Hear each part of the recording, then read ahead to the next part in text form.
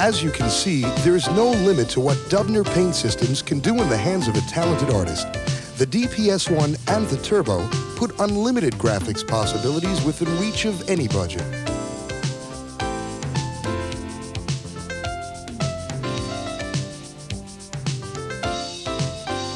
The DPS-1 system contains a 32-bit microcomputer, a digitizing tablet and pen, a keyboard, and a 10 megabyte disk drive that stores frames and real-time animations on removable high-performance Bernoulli cartridges.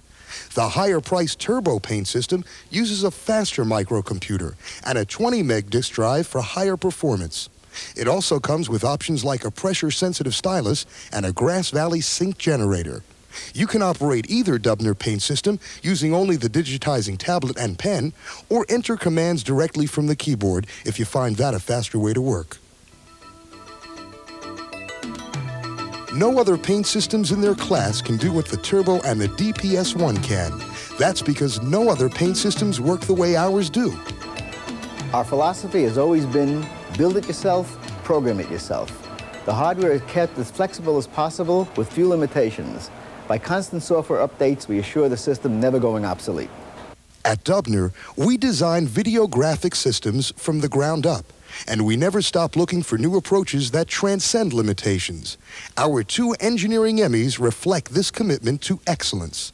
The Turbo and the DPS-1 are perfect examples of Dubner innovation. What makes this paint system unique from other systems is the four-field composite frame buffer. We grab all four fields and store them in the frame buffer without having to do an encode-decode step.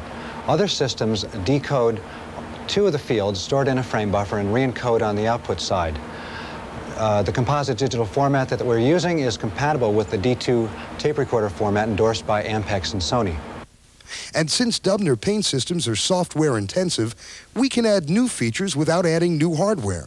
When we first got our DPS-1, we did a thorough evaluation of the system's role in our operation.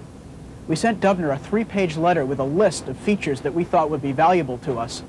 And in three months, they sent us a software revision that incorporated well over two-thirds of our suggestions. They are a very responsive company to work with. Working so closely with our clients, we've been able to build in features and functions that really address the needs of video production. The Turbo and the DPS-1 have everything you'd expect to find in a digital painter. Color ramps, solid, air, pattern, and chrome brushes. Frame grab, posterize, edge, mosaic, and blur. Powerful stencil functions. Plus, unique Dubner developed features like color crawl elimination and contrast enhancement. Wash and window brushes expand your creative options. You'll also find character generation with 3D edges, masking, emboss, and wallpaper.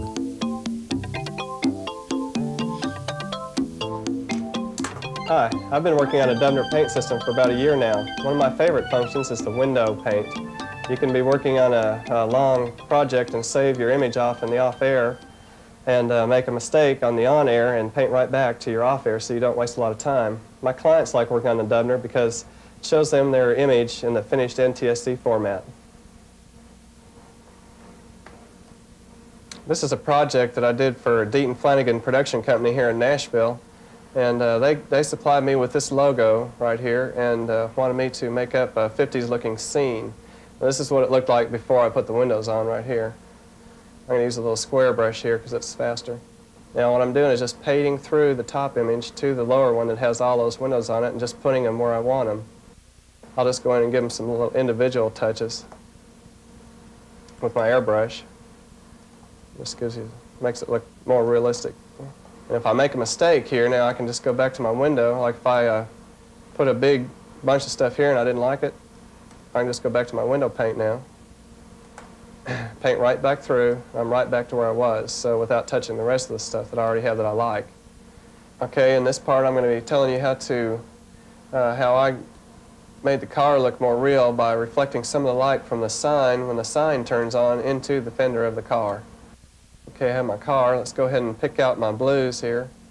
I'll go ahead and get a color right off of the sign. This is all with the uh, Dubner Smooth Anti-Alias Airbrush. It's a real pretty brush. Let's pick some of the red here and get a little bit of that in there. Okay, let's uh, unmagnify that and see how it looks. All right, looks pretty good.